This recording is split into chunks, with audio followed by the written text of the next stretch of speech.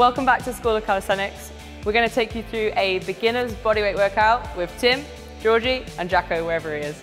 We're going to show you six exercises using a portable pull-up rack set in three different positions. There's loads of different movements we can get involved in, so let's get going. So we're going to use a chin up and we've got the rack set on its highest position and we're going to use a band for the first exercise and then we're going to show you a couple of progressions on from there.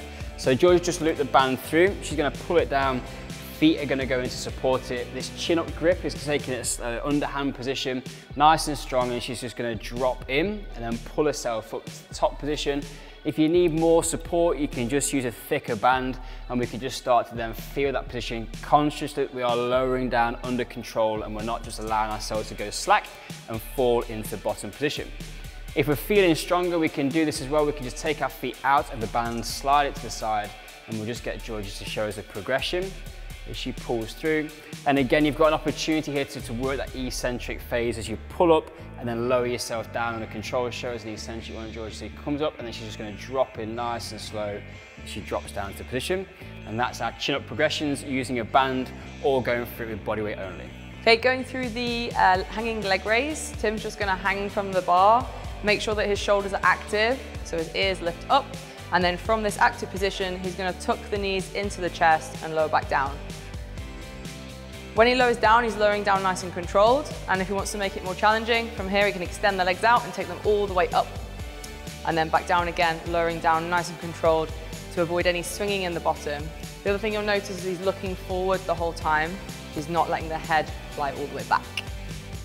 So that's your hanging knee raise or hanging leg raise. So first two exercises are done. Let's take it from the top level and drop it down to the halfway point. So we've lowered the beginner's rack to the middle height and then we're gonna go through some dips. So to begin with, just take a band and as you place it across the two bars, first of all, pull it quite tight. Make sure that you've got a full palm grip over the top so that band isn't going anywhere. And then from there, we're gonna get the knees into the band to support some of our body weight. From here, Jacko's just gonna send the elbows back and the chest down and then push back up to full extension at the top. Notice at the top, what he's not doing is sinking down into the shoulders. He's really pressing his ears up to the ceiling. And then from there, he goes back down into his dips, sending the elbows behind and pushing back up to full extension. So from here, we can uh, give a negative dip variation a go. Just take the band away, jump your body to the top, nice and active through the shoulders at the top. And then from here, send the elbows back nice and slow down into the bottom. If you've got plenty of strength here, feel free to push up to the top and do the full dip. just like that. There you go. and that's your dip. Right, so we're hanging out with Georgie on the beginner's rack at this second level, where one of the great things I love about the, the versatility of this height is some of the rowing and pulling exercises that we can do and you get to support yourself and build up some of that strength gradually rather than just constantly trying to do pull-ups when they feel too hard. So this is a great one where Georgie's going to use her feet to uh, assist her and help get up for the pull-up. So all the same um, coaching cues applies So the shoulders are going to be put into that active position. From there, she's going to drive the elbow down to the side. That's what's going to raise it up. Chest touches the bar and slowly controls back down. There's no point in trying to rush these. We're trying to build strength.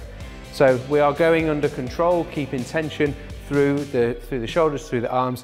Nice active position. We do another nice one with the elbow. When the elbow drives down and reaches and goes back behind to the sides, that's her getting up to the top. Your job is not to try and stand up with your feet and just use your hands slightly and do it nice and fast like that because we're not going to be building strength. So your feet are there to help you and assist you to do the action of this pull-up that we're trying to do, but they're not there to do the job for you. If that starts to feel good and when that starts to feel good, you're going to pull yourself up to the top using as least amount of effort for your feet as possible. Once you're at the top, can you actually take the feet off the floor hold, and then slowly lower down without any support. So we're just working on that eccentric portion as you build up the strength to do our full pull-ups. That is a great way to use a little bit of assistance at this lovely middle height for the beginner's rack. Let's drop it down to the final height.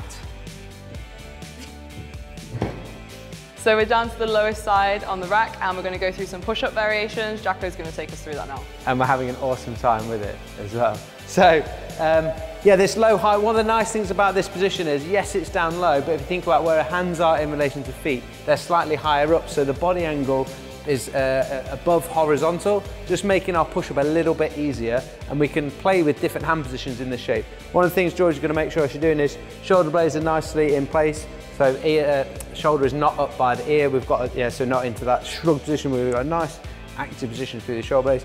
Tummy's sucked in tight, ready to take a punch, and abs are on, uh, bum's on tight, uh, imagining you've got a 50 pound note between your butt cheeks, those that are English, and it's a windy day and she doesn't want to lose that. So we're really clamping that, clamping those glutes on. That's going to keep this in a nice straight line. So she's going to drop then down into a position where elbows stay close to the body, shoulders in a nice position, drives back up. So that's her in a normal sort of position. We can explore with the hands a little bit wider and drive back up and you can explore the hands a little bit narrower or even take them onto the side position which you think what that is like is a lot more like that dip position we had earlier but because we're horizontal uh, it's going to be a little bit easier feet supported on the floor and it's nice because you're having to maintain a nice body position so your core is working to maintain that trunk angle.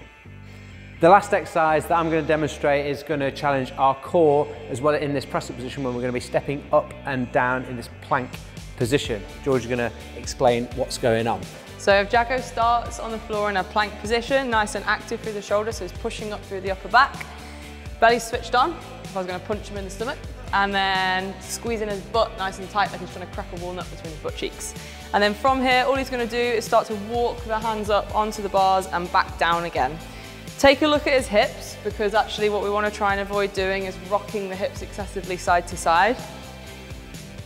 So instead, he's to make sure he stabilises his midline, controls his hips, moves his hands up and down onto the bars and back to the floor. And that's a fun plank step-up variation.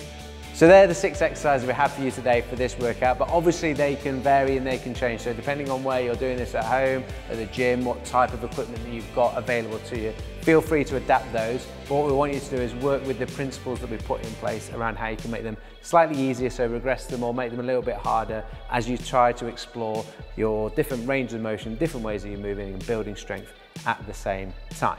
You've got a bit of freedom when it comes to reps and sets and how you structure a workout. You might want to do those as individual exercises, do two to three sets, work six to 10 repetitions in each of those, or you might superset them. So the two hanging ones from the bar, you might work through one exercise, do the pull-ups and then go straight into the hanging leg raises with no rest. And you maybe give yourself 60 seconds after that. Or you can go through a big circuit and do top to bottom six exercises on the balance, mixing it up, keeping it all fresh. It's entirely up to you do whatever you feel is going to have a, a, nice effect on what your training goals are, what you enjoy, but most, most of all, have fun with just moving your body weight through some progressively um, more challenging exercises in different positions. If you like the look of the beginner's rack and the versatility that it gives you, we have those available on our website, so check those out. They ship worldwide, so anybody, anywhere can get them. And if you haven't checked out the virtual classroom where all of our online training and programs are, make sure you have checked out at schoolofcalisthenics.com and you'll see the link through to the virtual classroom where you can find out everything that is in there and engage with all the students that are working hard to redefine their impossible alongside us. Till next time, class dismissed.